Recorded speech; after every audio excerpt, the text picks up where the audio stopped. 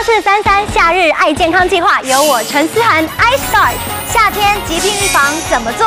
晚上八点，请你跟我这样过，让你夏日生活好周到。夏天不看连续剧还能看什么？晚上九点，女人好犀利，陪你上山下海聊通海。夏天食欲不振怎么吃？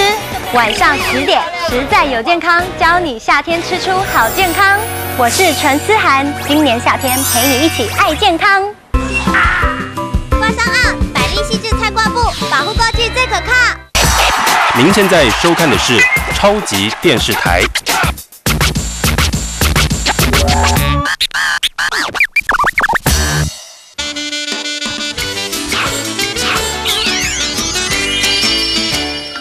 那既然大家都爱吃空心菜，我想怎么挑、怎么保存，应该大家都很清楚吧？对，我们来考考看，好不好？好好，好不好？马上进入我们的健康二选一，来，可来麻烦你。好，好，空心菜怎么保存比较好呢？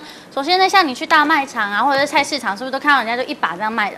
然后一把卖之后，它旁边都会撒上水啊，让它漂漂亮亮，看起来水嫩水嫩的。对对，那买回家之后呢，就这样撒点水，然后呢放到我们的塑胶袋里面，整个放进去，然后再放到冰箱，就可以让它水分保持不流失，这样就可以保存比较久哦。哦，这个是做法 A，哎，好不好？那我们请做一下做法 B。好，做法 B 呢，就是空心菜怎么保存比较久？做法 B，我们看到这是白报纸。那一般呢，我们在外面买水果啊，就是我回家都把它放到里面，然后包包着之后，包放到冰箱，它就可以防止水分不流失嘛，对不对？所以我觉得空心菜也是一样，就把它放进去，嘿，然后做好，做好，这就是它的新家来着的。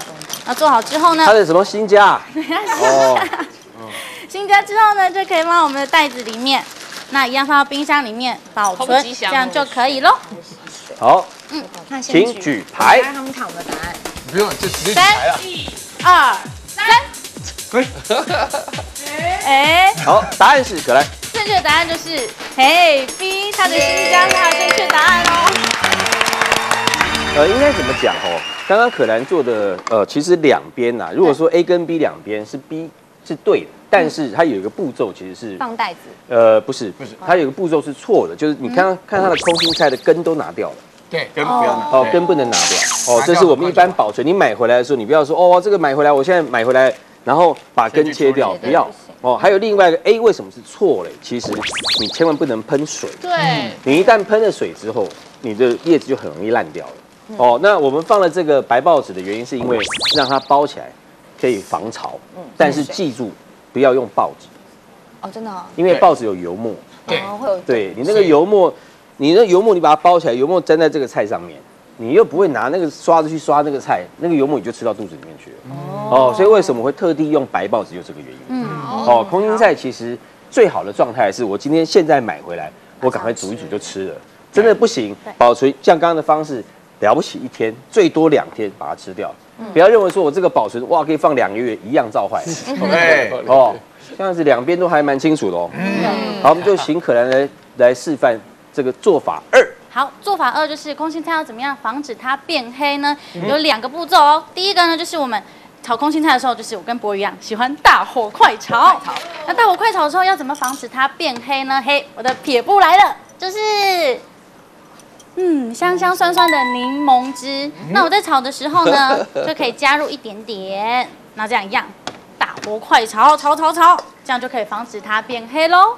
好，这个是做法一，那做法 A，我们来看一下做法 B 怎么做。好，防止它变黑呢，我们再就是之前啊料理之前一样，也可以防止它变黑的撇步，就是准备一盆水。那像水果啊，防止它变黑，它有一个撇步是什么？加盐。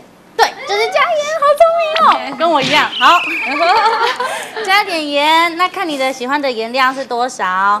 那接着呢，一样就是把我们的空心菜放下去，泡着，对，先放盐水，泡到盐水里面。那嗯到时候我们要炒的时候再把它捞起来就可以了，就可以防止它变黑了。好，这个是做法 B。对，好，数到三，请举牌，一二三。答案是，正确答案是加柠檬汁。怎么可能？酸碰到叶子应该会发黑啊！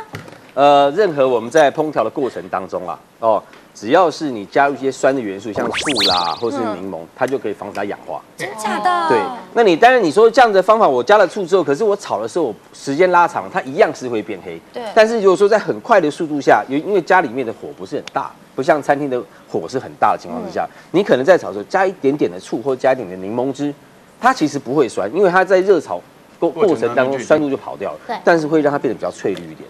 哦，可是你泡盐水的时候，其实我建议就是叶菜类最好不要泡，叶菜类，像牛蒡那些你可以泡，为什么？因为是不是有盐分？那你就像腌菜一样，你一腌叶子开始烂掉，对。然后开始里面的水分开始往外冒了。嗯哦，所以这个部分要稍微注意一下。哦，其实只要加一点点柠檬汁就很棒。啊，报告主持人，嗯嗯，你在解释的时候，我心忐忑不安，因为可兰要坐到那边去了。哎呦他为什么那时候要站在那里？这个你不用担心，因为这个阶段的两组人是平分，所以都要喝。我就说了，要死一起死嘛？但是可以等一下都可以都吃。哦，最后我做菜的部分可以大家都可以品尝，对，好不好？好，我们的蒜香空心菜就是我们有你空心菜那么一点点蒜头这么多，这个给个盘子来炒一炒，我们就会。大蒜多一点嘛，不要一点点就好了。主角还是我们的那个大蒜，可以让大家就是大蒜不用加这么多吧？对啊，大蒜太太夸张。大蒜固肝吗？潘老师？呃，它呃间接健啊，那就有固肝就好了。而且常感冒的人，大蒜对感冒治疗比较有效我已。经我吃非常不感冒了。这我都可以想象，但是我在煮菜的时候，那个蒜味啊，有没有这蒜味一直飙过来这样？哎呦天哪，好恐好了，给你们说一点好不好？还是你们要渣渣？不用不用，我们有要有小感。要有香，大蒜要有其香实也没那么可怕啦对不对？我在吃生蒜也是有在吃啊，对不对？好激烈。我发现蒜头好像加太多嘞，我就说呀，要大就要加很辣。好呛。那你倒小杯一点。哎，各位干杯了，干杯了，干杯啦，干杯！